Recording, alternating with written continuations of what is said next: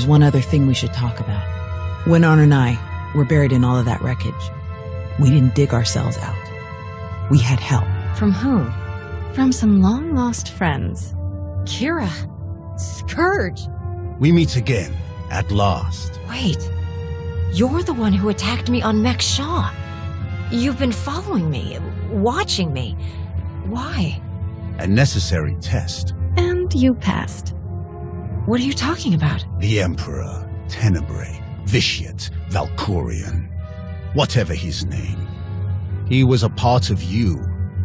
We all felt his destruction, but he has always been a master of deceit. We had to be sure that he wasn't lingering in your mind, hidden, waiting to come out only in the most dire circumstances. Now, we are sure. I'm so glad to see you both. After all these years, I'd feared the worst. Ours has not been an easy road. There is much to tell, but we can't risk saying more here. Let's travel to your base on Odessen. It should be safe for us to talk there. About what? The final gruesome weapon of Tenebrae.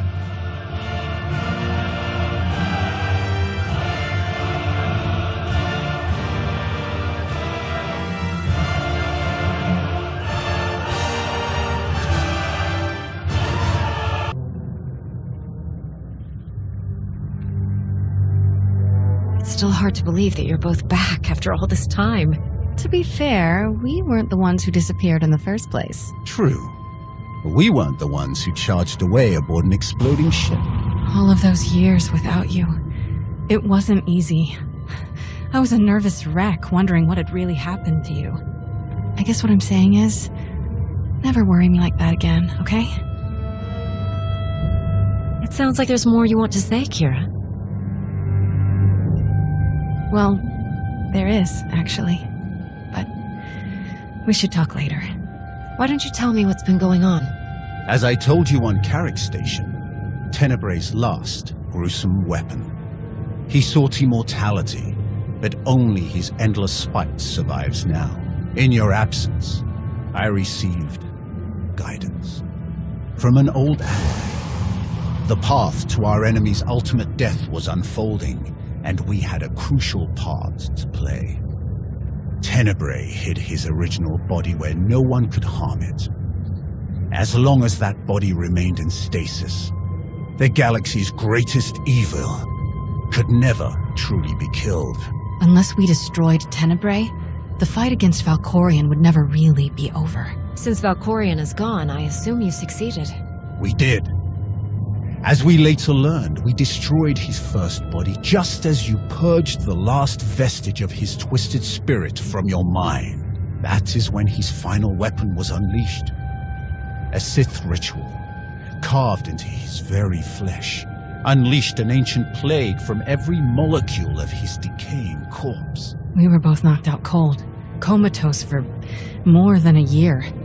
Satil Shan was the one who finally pulled us out of that nightmare and started a new one. Since we had both been vessels for Tenebrae's power in the past, we were both protected to a large degree. Like a vaccine. But Satil had no such protection, nor did any of her followers. Within days, they were all laid low, trapped in a nightmarish slumber.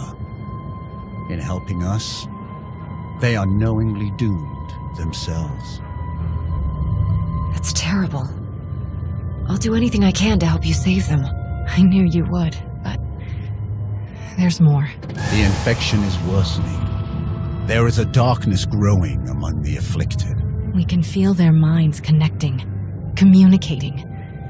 We're afraid they might be merging somehow. Merging into what? Another Valkorion? I- is this plague bringing him back somehow? It's too early to make that conclusion. Whatever it is, it is immensely dangerous.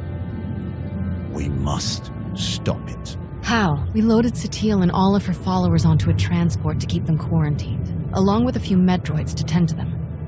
The transport is programmed to fly a random course through unsettled sectors of the Outer Rim, all weeks away from civilization. I can send a signal to alter the course, bring it to another empty system that's closer so that we can meet it in a shuttle. We board the ship and connect our minds with yours through the Force. Together, we will face this entity and purge it from existence. And if we cannot purge it, then we destroy the transport and hope we've ended the old monster's schemes forever. Send the signal. If what you say is true, this thing could be getting stronger by the minute. I'll send the signal right away. It'll be a while before the ship comes back into range.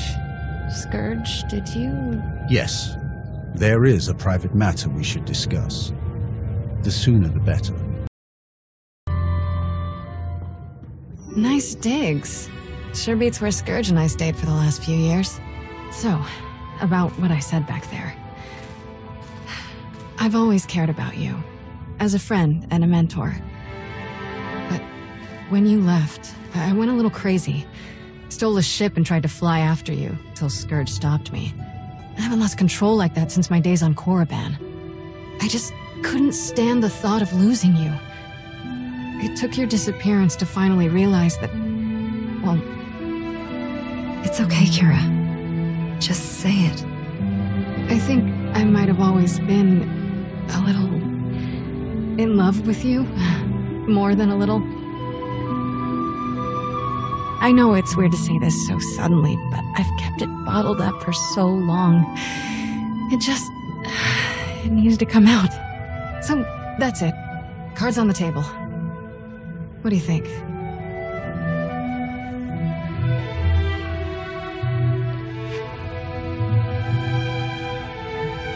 I think I'm more than a little in love with you, too.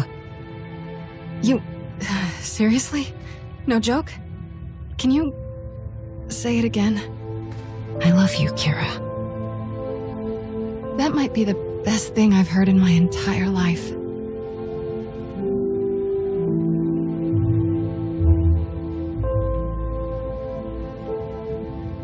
This is a brand new start for us. You and me, till the end. I can't wait.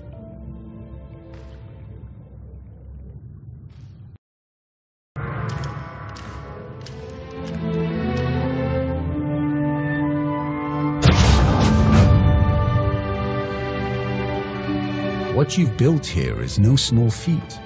You've done well for yourself, destroying the Emperor, claiming his throne. You have accomplished even more than I'd hoped for. I couldn't have done it without you. Even if I didn't know it all this time. I swore I would help you defeat him, and I don't make promises lightly. There is something else I wish to speak with you about. The Emperor's destruction had a profound effect on me. Something beyond the disease his death unleashed. My immortality is gone. For 300 years, I thought I would be content to accept my end, should the time come. But my new mortality has unforeseen effects. Like what, exactly? Emotions and sensations I had long forgotten have taken hold again.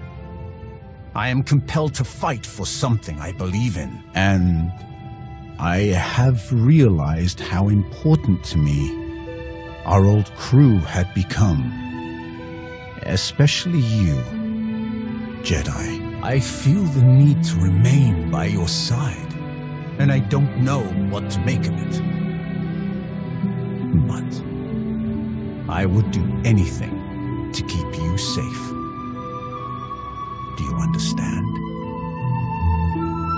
The most important part of life is the bonds we form. You finally feel that. It will take some getting used to. But I'm already beginning to like it. I cannot predict what the future holds. But I will be here to help you face it.